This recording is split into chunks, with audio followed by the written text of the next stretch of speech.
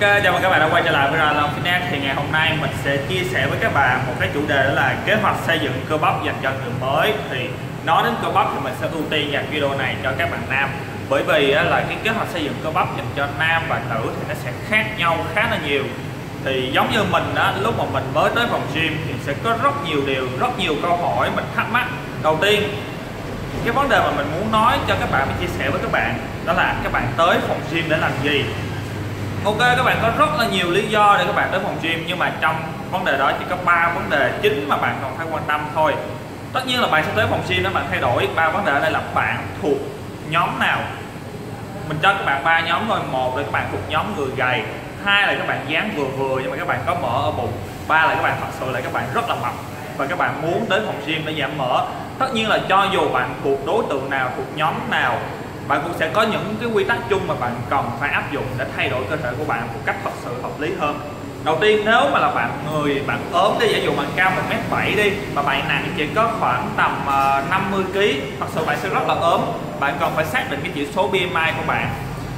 Ok, nếu bạn ốm thì rõ ràng là việc bạn sẽ tới phòng gym nhiều hơn để bạn tập luyện và bạn sẽ phải ăn nhiều hơn để bạn thay đổi cơ thể của bạn. Nó một cách suy luận hoàn toàn hợp lý và đơn giản điều thứ hai là nếu cơ thể của bạn vừa vừa, thì mục tiêu của bạn rõ ràng là bạn sẽ phải xây dựng một cái cơ thể nó săn chắc hơn. Có vai, có cầu vai, có tay, bắp tay, đẹp hơn, có cơ ngực, hay có rất nhiều vấn đề khác của bạn. Còn nếu mà khi mà bạn đủ mập, ví dụ như là bạn cao có mét bảy thôi mà bạn nặng cỡ 85 hoặc là bạn nặng 90 kg thật sự khi đó bạn mập. Nó ảnh hưởng đến nhiều vấn đề về sức khỏe của bạn. Bạn cảm thấy yếu, bạn cảm thấy trong cuộc sống sinh hoạt bình thường của bạn bạn không đủ sức để làm nhiều việc, bạn cảm thấy bạn còn thật sự phải giảm cân thì đó là mục tiêu đến phòng gym của bạn.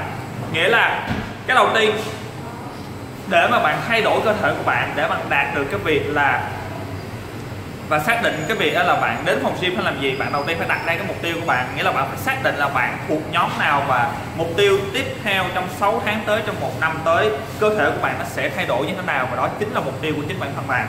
Rồi, và khi bạn đã có một cái mục tiêu, bạn sẽ nên tập trung và quan tâm đến những điều sẽ giúp bạn thay đổi cái cơ thể của bạn và đạt được cái mục tiêu bạn đã đề ra cái vấn đề tiếp theo mình muốn nói đến đó là cái thời gian tập. Bạn muốn thay đổi cơ thể của bạn đồng nghĩa với việc là bạn phải thật sự sắp xếp được thời gian tập. Tại vì nếu bạn không sắp xếp được thời gian tập không đến với gym nhiều hơn không tập luyện nhiều hơn chăm chỉ hơn thì chắc chắn cái mục tiêu của bạn xác suất nó bị thất bại sẽ rất là cao. Như vậy thì bạn đầu tiên là bạn mua một cuốn sổ bạn ghi chép ra 2, 3, 4, 5, 6, 7 Bạn sẽ tới phòng gym để làm gì? Ngày hôm nay bạn tập những gì? Và ngày mai bạn tập những gì? Trong tuần sau, tuần tới nữa bạn tập những gì? Có rất nhiều điều, rất nhiều câu hỏi là bạn có nên tập những cái này hay không? Bạn có nên tập nhóm cơ này hay không? Bạn có nên tập bài tập này hay không? Có rất nhiều rất nhiều câu hỏi và tất cả những cái đó bạn có thể hỏi mình trên youtube của mình hoặc là fanpage của mình. Có rất nhiều điều để các bạn tham khảo. Rồi, nói đến đây. Ok tiếp theo một vấn đề mà muốn nói đến các bạn là khi mà bạn sắp xếp được một cái thời gian biểu lịch tập là ngày hôm nay bạn sẽ đi tập ngày mốt ngày kia bạn sẽ đi tập thì điều tiếp theo bạn cần phải lưu ý đó là gì? Đó là bạn thật sự phải nghiêm khắc với chính bản thân bạn. Tại sao? Tại vì nếu mà hôm nay bạn đi tập ờ, ngày thứ tư đó mà bạn bận nè à, đi nhậu bận hội họp bạn bè bận tùm lum các kiểu và bạn không nghiêm khắc với chính bản thân bạn điều đó nó dẫn đến việc là khi bạn không nghiêm khắc, bạn bỏ cái bữa tập. Khi bạn không nghiêm khắc, bạn chay ì và bạn không hoàn thành cái bài tập của bạn. Khi bạn không nghiêm khắc, bạn không tập luyện hiệu quả, không vượt qua cái sức giới hạn của bạn. Tổng hợp rất nhiều rất nhiều lần bạn vi phạm chính những điều mà bạn đã nghiêm khắc đặt ra khi mà bạn bắt đầu đến phòng gym. Nó dẫn đến việc là cơ thể của bạn chậm thay đổi hay là nó thay đổi thật sự không hiệu quả. Nghĩa là nếu bạn muốn cơ thể của bạn thay đổi hiệu quả hơn, cơ bắp của bạn xây dựng nhanh chóng hơn, bạn cần phải thật sự nghiêm khắc với chính bản thân bạn. Nghiêm khắc những gì? Nghiêm khắc là bạn phải phải đến phòng gym tập đúng giờ. Chính xác không? Nghiêm khắc là bạn sẽ phải cố gắng bạn hoàn thành tất cả những bài tập mà bạn đã đề ra, bạn đã tự thiết kế cho chính bản thân mình, hoặc là bạn xem cái thiết kế của mình, hoặc bạn đăng ký gói tập online trong chương trình của mình. Nó có những cái lịch tập, nó có những cái bài tập sẵn. Bạn đề ra nó à hôm nay bạn sẽ tập nhiêu đó, một cái danh sách 6 bài 7 bài bài nào bạn tập được? Bài nào bạn không tập được? Tại sao bạn phải nghiêm khắc thật sự đưa ra cái vấn đề đó bạn phải xem việc đó nó thật sự là quan trọng? Bởi vì sẽ có rất nhiều rất nhiều và mình thấy nhiều trường hợp lắm rồi. Đến phòng gym mà thấy ờ hôm nay tôi tới phòng gym để tôi tập đó. Nhưng mà sợ là khi mà bạn tới phòng gym bạn vẫn chưa biết là bạn sẽ tập những gì. Bạn tới phòng gym bạn chưa biết là cái lịch tập của bạn nó như thế nào. Và như vậy thì làm sao mà đảm bảo được việc là bạn sẽ hoàn thành được cái lịch tập đó, đúng không? Điều đó nó không tạo được cái sự nghiêm khắc và chính cái việc bạn không nghiêm khắc chính bản thân bạn. Bạn không vượt qua được cái mục tiêu của bạn đề ra không vượt qua được cái kế hoạch bạn đã ghi chép ra là bạn sẽ tập những gì và tập như thế nào. Điều đó kéo dài một thời gian dài. Kết quả bạn tập luyện nó cơ thể của bạn không thay đổi và nó không hiệu quả. Vậy nên hãy nghiêm khắc với chính bản thân mình. Rồi chúng ta cùng nói đến xác suất của sự thất bại ở những cái lịch tập bài tập sự khác biệt. À, ví dụ như là nếu mà bạn là người ốm đi bạn tập luyện theo một chương trình mà xây dựng cơ bắp dành cho người đã tập quen rồi thì xác suất nó không phù hợp thì bạn sẽ thất bại rất là nhiều. Hoặc nếu bạn là người ốm đi mà bạn suốt ngày bạn tập quá nhiều, bạn nóng lòng, bạn muốn thay đổi cơ thể bạn bạn tập quá nhiều, nó lại tiêu hao nhiều năng lượng. Nó không giúp bạn tăng cơ, tăng ký được. Cái quy tắc là bạn ốm thì bạn sẽ phải tập vừa đủ để mà nó kích thích cơ thể của bạn hấp thụ năng lượng và bạn ăn nhiều hơn. Nghĩa là bạn phải ăn nhiều hơn cái mức bạn tập thì bạn mới tăng ký được. Nó đồng nghĩa với việc là nếu mà bạn ốm mà bạn cứ ham bạn tập quá nhiều hai tiếng một ngày tập xong ăn nhẹ một chút gì đó là xong đi chơi đá banh là bạn vận động quá nhiều cái năng lượng của bạn không đủ dư thừa để nó có thể thay đổi và giúp bạn uh, tăng cơ tăng cân và bạn mập lên. Nhưng nếu mà bạn mập mà bạn lại tập quá ít bạn tập cho tới tập bạn tập nửa tiếng là xong bạn đi về bạn cảm thấy như vậy là đủ rồi. Hoặc là bạn đang mập à, bạn đang rất là mập bạn cỡ nặng 85 kg bạn lại không vào và tập những bài thể lực cường độ cao hay là những bài cardio để nó gia tăng cái thể lực và nó đốt mỡ cho bạn mà lại nhìn vô bạn bắt đầu bạn ngồi với những bài tập tạ thì thật sự thì hiệu quả thì nó cũng hiệu quả nhưng mà cái quá trình mà bạn cảm thấy nó hiệu quả bạn cảm thấy nó giảm mỡ liền nó sẽ kéo dài rất là lâu và nó khi mà nó kéo dài lâu như vậy nó làm cho bạn cảm thấy nản hơn. Điều đó nó gia tăng cái xác suất thất bại của bạn. Thất bại nghĩa là bạn đặt ra mục tiêu là bạn sẽ tập luyện để thay đổi, nhưng mà bạn không hoàn thành được mục tiêu và bạn bỏ dở giữa chừng. Chúng ta gọi nó là thất bại. Tất nhiên mình chắc chắn là sẽ có rất nhiều người xem những video của mình thường xuyên gặp thất bại. Hoặc là trong cuộc đời bạn đã gặp thất bại cái việc bạn thay đổi cơ thể bạn không làm được việc đó, nghĩa là bạn thất bại, đúng không? Và như vậy thì hãy lựa chọn một cái gì đó phù hợp, một cái chương trình thật sự nó phù hợp với bạn. Giống như mình vừa nói, bạn ốm, bạn tập luyện nó khác, bạn vừa vừa, bạn tập luyện nó khác, bạn mập, bạn tập luyện nó khác, bạn đang có bệnh lý, bạn tập luyện nó khác, bạn là nam, bạn tập luyện khác, bạn là nữ, bạn tập luyện khác. Tại vì khi mà một chương trình, một lịch tập, một bài tập, một chế độ tập luyện phù hợp với chính bản thân bạn, điều đó sẽ gia tăng cái xác suất mà bạn thành công và vượt qua cái ngưỡng thất bại nó giúp bạn phục hồi nhanh hơn, nó tập luyện phù hợp hơn, nó giúp bạn thay đổi nhanh hơn để bạn thấy được cái sự thay đổi đó từ chính cái việc đó. Bạn duy trì cái việc tập luyện một cách đều đặn và ổn định hơn. Và chính cái việc tập luyện đều đặn và ổn định nó mới giúp bạn trong một cái khoảng thời gian dài bạn thành công và thật sự thay đổi chính cái bản thân bạn, cái cơ thể của bạn.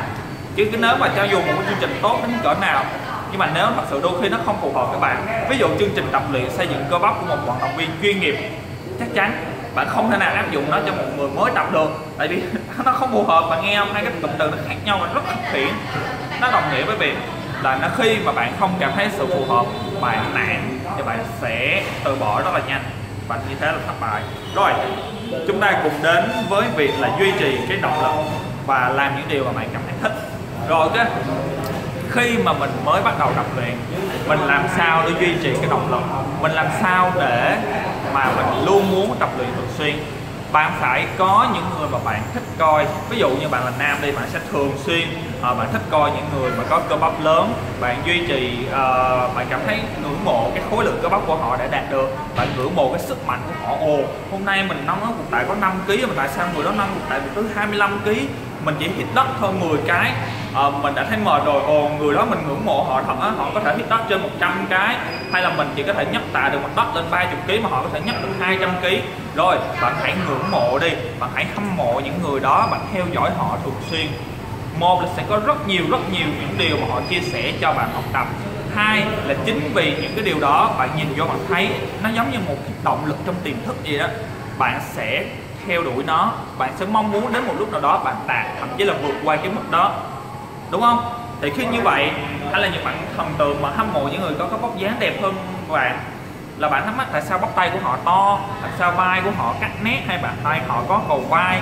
Làm sao để đạt được việc đó? Làm sao họ có số muốn mà mình không có số muốn tổng hợp những cái sự hâm mộ, những cái sự yêu thích đó, nó làm cho cơ thể của bạn nó có một cái động lực để bạn có thể đến phòng tập và tập luyện thường xuyên. Rồi, thêm một điều nữa là hãy tham gia những cái cộng đồng. Mình khuyên bạn là khi bạn bắt bắt đầu mà bạn đến với cái chương trình tập luyện, đến với các uh, vấn đề về tập luyện bạn hãy nên tham gia vào những cộng đồng.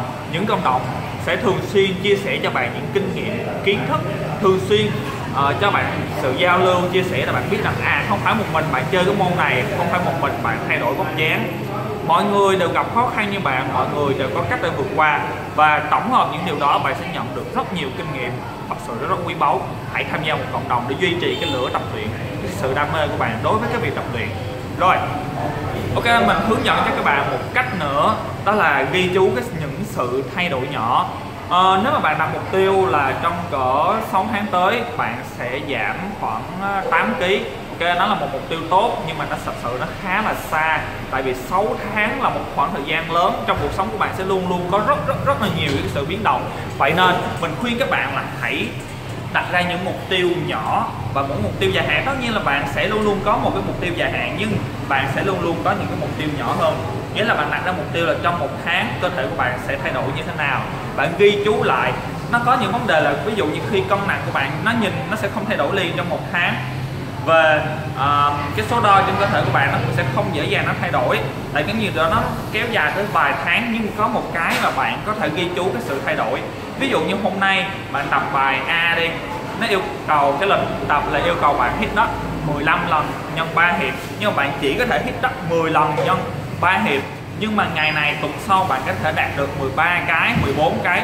Ghi chú lại những cái sự gia tăng về sức mạnh sức bền thể lực tất cả chúng ta đều gọi là sự tiến bộ và sự thay đổi của chính bản thân bạn.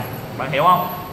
Thì bởi vì những cái sự thay đổi nhỏ đó từ lịch tập, bài tập, sức tập của bạn nó kéo dài một khoảng thời gian dài, nó mới giúp cho tổng thể cơ thể của bạn thay đổi và thật sự là bạn sẽ tập luyện hiệu quả được. Tại vì từng chút từng chút từng chút từng chút thay đổi một, tổng hợp nhiều cái chút chút đó lại để làm cơ thể bạn thay đổi lớn. Bạn không thể nào bạn leo một cái bèo từ việc bạn hit đất chỉ 15 cái leo lên 100 cái được. Bạn phải đi từ 15 16 17 18 19 20 31 4 5 6 7 8 9 10 11 leo lên 100 được. À, các bạn rất khó bằng nhảy cốc. Nhảy cốc thời gian nó kéo dài 6 tháng nó sẽ rất dễ làm bạn nản chí. Vậy nên cái lịch tập bạn hãy ghi chú lại cái mức tạ bạn tập cái sức tải của bạn cơ thể của bạn chịu nổi. Ví dụ như hôm nay bạn đã ô hôm nay bạn vui quá bạn chinh phục được mức tạ 30 kg nhưng hãy nghĩ đến tuần sau. Tuần sau có khi nào bạn có thể chinh phục được mức tạ 35 kg hay không? Chẳng hạn như vậy. Rồi hãy ghi chú lại những sự tiến bộ những sự tiến bộ sẽ luôn luôn là động lực để giúp bạn duy trì cái việc tập luyện. Chính cái việc duy trì tập luyện kéo dài qua nhiều tháng nhiều năm mới giúp bạn thay đổi thật sự nha. Rồi à, tiếp theo mình nói đến một cái vấn đề nữa là hãy dành thời gian học tập kiến thức và đa dạng hóa những bài tập. Bởi vì trong bất kỳ một cái lĩnh vực nào bạn muốn đạt được một cái thành tựu hay thành công nho nhỏ trong đó bạn phải thật sự học hỏi được kiến thức. Bạn phải biết được cái cách thức tập cái cách thức hít thở, cách phân chia bài tập, lịch tập, cách ăn uống hợp lý. Bạn phải hiểu được về dinh dưỡng, tại dinh dưỡng nó hỗ trợ cho cơ thể của bạn mà. Bạn có thực mới vật đạo, đúng không? Bạn ăn uống tốt thì cơ thể của bạn mới tăng cơ, tăng cân hợp lý. Bạn ăn uống tốt, hợp lý, giảm những cái thành phần tinh bột, dầu, mỡ thì cơ thể của bạn mới giảm cân, giảm mỡ hợp lý. Chứ còn nếu mà bạn tập rất là tốt mà bạn bạ đâu ăn đó, thì cơ thể của bạn sẽ rất khó và rất lâu thay đổi, nên làm bạn nản chí và bạn thật sự sẽ dễ bỏ cuộc. Ok? Rồi, hãy dành thời gian học tập nhiều kiến thức, đọc nhiều tài liệu, xem nhiều tài liệu. Tại vì một bất kỳ một lĩnh vực nào đó bạn muốn giỏi thì bạn cũng sẽ cần một khoảng thời gian là 5.000 giờ. 5.000 giờ nha, học tập, nghiên cứu và suy nghĩ về nó ở mức là tương đối thôi. Còn ở mức mà chuyên nghiệp, trở thành chuyên gia trong một lĩnh vực đó, bạn cần từ 10.000 đến 15.000 giờ là nó lâu hơn rất là nhiều. Bạn cứ tưởng tượng một ngày bạn chỉ có 8 tiếng đồng hồ để nghĩ về nó hay là cỡ hai, ba tiếng và bạn đã đạt được 5.000 giờ là bạn sẽ phải mất vài, ba năm. Tất nhiên là trên vài, ba ngàn giờ là bạn, gọi là, tương đối thông thạo đủ để mà bạn hiểu biết và suy nghĩ để mình làm việc đó rồi, ok? Rồi, một vấn đề nữa mình muốn nói với bạn là cơ thể của bạn thay đổi, nó luôn luôn tính bằng năm. Nó không thể nào mà thay đổi trong thời gian vài, ba tuần hay vài, ba tháng. Vậy nên hãy thật sự kiên trì. Bạn kiên trì, bạn suy nghĩ và nói nhiều, bạn rèn luyện đủ nhiều bạn chăm chỉ về dinh dưỡng cơ thể của bạn sẽ thật sự thay đổi. Còn nếu mà bạn không kiên trì thì không ai giúp được bạn không ai có thể đưa ra một chương trình thay đổi ngay lập tức cho bạn trong vòng uh, vài ba tuần có thể nó thay đổi nhưng chưa chắc nó sẽ thể bền và nó thay đổi luôn. Cơ thể của những người mà luôn luôn sở hữu những cơ thể cơ thể mà săn chắc gọn gàng hay là đầy cơ bắp hay đầy sức mạnh họ luôn luôn tập luyện rất là bền rất lâu dài không thể nào trong một sớm một chiều. Vậy nên hãy kiên trì duy trì việc tập luyện và mình chúc các bạn sớm thay đổi được cơ thể của các bạn. Rồi, hẹn gặp lại các bạn trong video clip tiếp theo của ra lòng nha.